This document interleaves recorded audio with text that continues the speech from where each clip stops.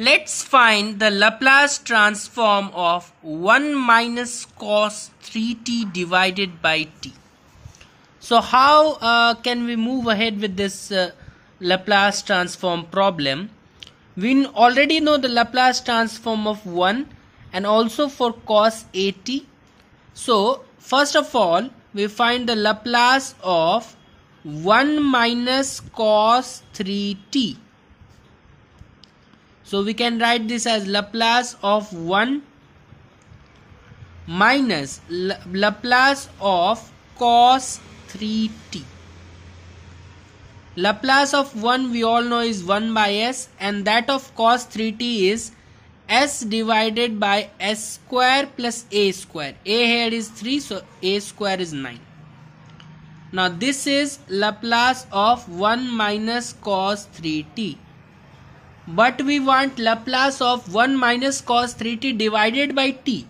So we will use the division by t property which says that if we are dividing by t once then we have to I am dividing this by t once so I will have to integrate from s to infinity of whatever is the Laplace transform of the numerator portion. So numerator portion Laplace is this. So I will integrate this with respect to s. Okay. Now uh, let's look at this integral first. Integral of s divided by s square plus 9 ds. Now if we take s square plus 9 as uh, let's say u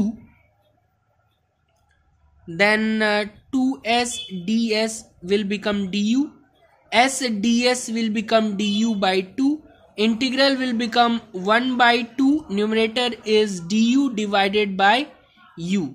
So 1 by 2 log mod u plus c 1 by 2 log u was your s square plus 9 plus c. So this is the integral and we already know integral of 1 by s is ln s.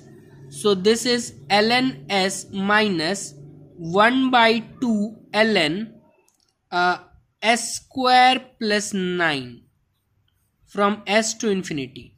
Further we can move this to the power and write this as ln s minus ln s square plus 9 power half.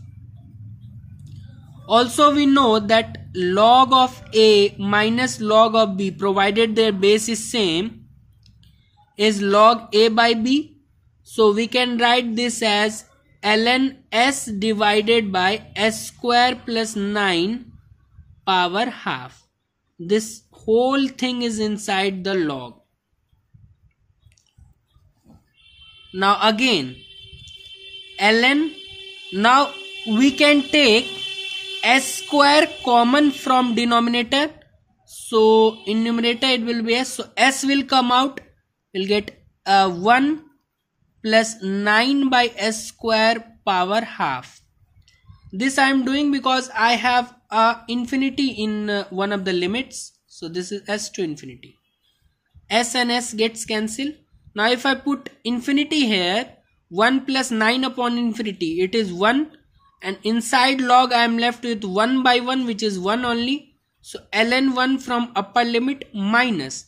Lower limit if I put so s in place of s again I will get the same thing. So I will get uh, ln s divided by s square plus 9 power half. Okay now what I can do I can log 1 is 0 so I'm not writing it minus ln.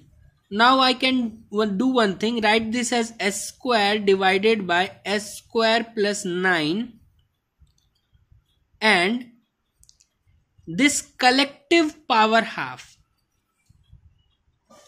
If you distribute the power this will become s this will become s square plus 9 power half. Okay?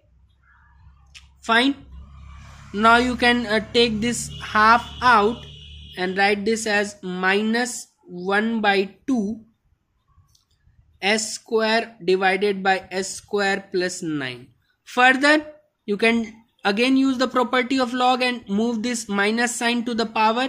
So 1 by 2 s square divided by s square plus 9 power minus 1 power minus 1 that means flip this so 1 by 2 s square plus 9 divided by s square is what we are getting